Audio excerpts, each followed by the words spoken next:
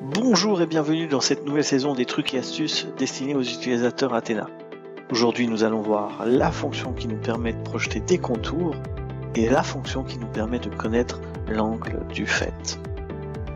Je vais prendre ces deux contours fermés afin de les projeter sur la surface de mon toit.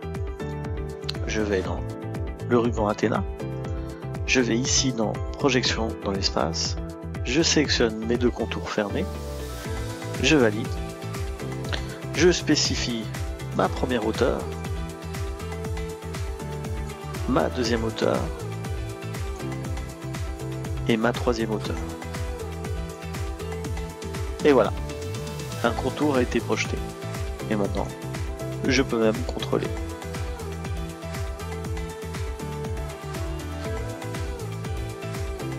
Et on aperçoit que mes contours sont correctement projetés sur ma surface de toit. Maintenant, je vais prendre cet exemple de projet de structure de verrière et je vais utiliser la fonction angle dièdre en indiquant les points.